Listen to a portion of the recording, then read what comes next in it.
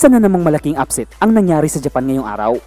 Sa kakatapos nga pala na laban sa Japan ngayong araw, ay napalaban ang top prospect na Pinoy na si Kiji Kataraha at ito ay laban sa Mexicanong nagpayanig kay Raymart Gabalio dito mismo sa Pilipinas. 現在36歳本当にあのまま、ブレずにねボクシングやってたら Sa umpisa ng laban ay maganda ang pinapakitang galaw ni Kiji Kataraha. yan yan, jab, jab.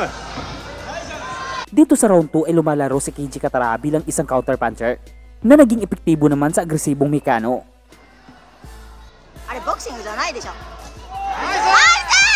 Dito sa round 3 ang magandang pinapakitang footwork ni Keiji Katara pero may iilang pagkakataong na warningan ito dahil sa low blow.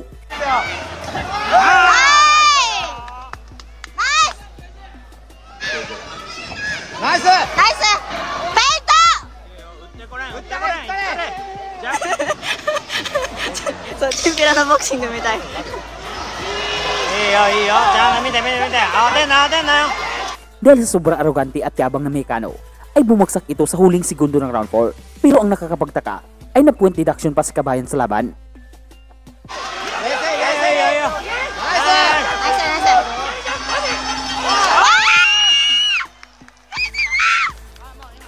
Dahil tinira pa daw nito matapos tumunog ang bell.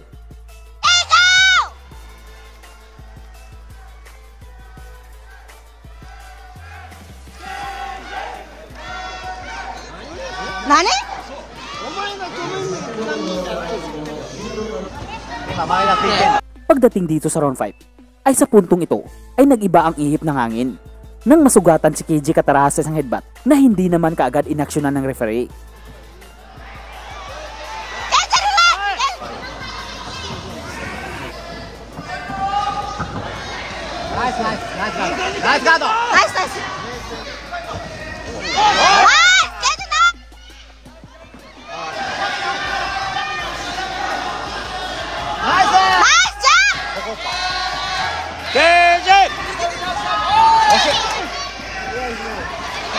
ナイス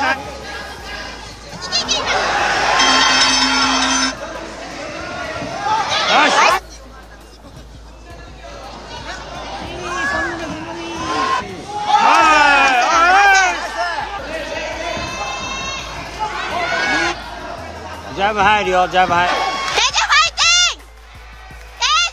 ケージ右手ばっかやなちょっとスタミナがスタミナ It's okay, okay!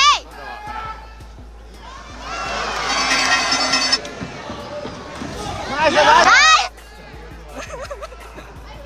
イスナイスナイスナイスゴーケージゴー入ってねえよおいナイス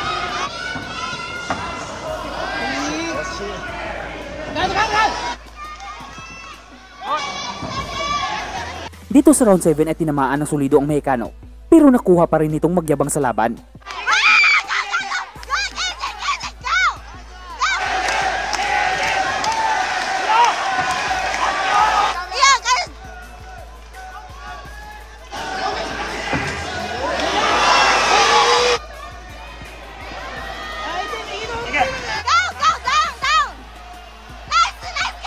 Ang laban ay umabot sa desisyon.